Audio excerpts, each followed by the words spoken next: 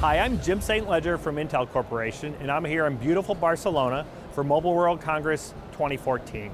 One of the big themes we've seen this year is building on what was exposed last year, Network Functions Virtualization, or NFV.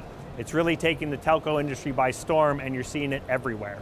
As we walked the show floor, we noticed that NEC was showing a virtualized Evolved Packet Core. So we've stopped in today to see what their VEPC is doing. I'm here with Harasaki-san to talk about that. Harasaki-san, thank you for your time today. Welcome I appreciate to, you having a few minutes for us. Okay, welcome to NEC NFV site. Thank you. Yeah. So I see you're showing a virtualized EPC. Can you talk to us a little bit about the work you've done and this project? Okay, so uh, we are showing the NEC the first NFV solution, uh, which called as a virtual EPC, which providing a mobile core network function uh, on the virtualization environment. And uh, NEC virtual EPC has already launched the commercial services uh, in Southeast Asia in last year, so that our system is already stable and highly reliable. So you have this in, in trial deployments or commercial deployments today? Uh, yes, in Southeast Asia. That's amazing. So you clearly are on the front edge of the NFV deployments in the industry then. yes. Absolutely. Yeah. So what kind of problems does it, does NFV concept and the virtualized EPC solve for your customers? Okay, so uh, typically, uh, virtualization environment like a hypervisor uh, could cause uh, unacceptable acceptable latency and delay and lower performance. But uh, NEC has improved the hypervisor performance to provide the network performance capable latency and performance.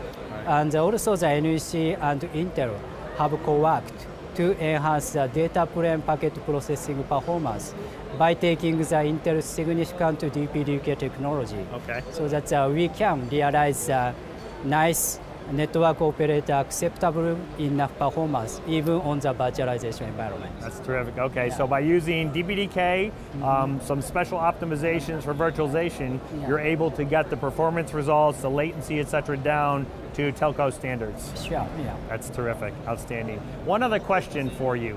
Um, what's your view of NFV overall? How do you see it um, rolling out in the industry and being adopted?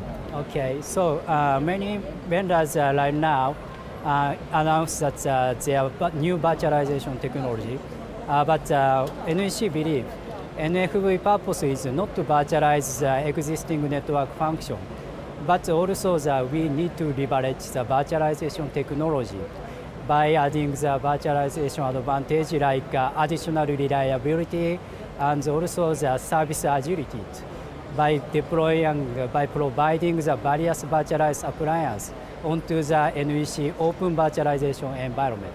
So that uh, this could be the new revenue creation. So operator and end user can get uh, many benefit, we believe. So Terrific. Yeah, well, we're anxious to see and follow um, as NEC progresses in technology over the next year or so.